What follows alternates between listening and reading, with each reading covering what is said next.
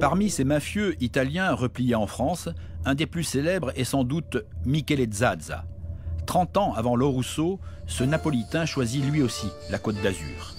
Quand la plupart des Italiens repliés en France vivent discrètement, lui ne se cache pas.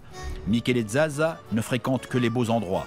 Surnommé au Pazzo, le fou, il adore les belles voitures.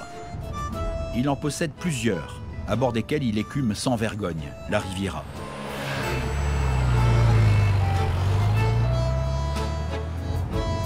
Michele Zazza aime ce qui en jette, il vit dans le luxe et n'hésite pas à afficher son train de vie. La Riviera semble être à lui. Michele Zaza est un personnage exubérant qui roulait dans de belles voitures, qui avait toujours de très beaux manteaux, de fourrure l'hiver, etc.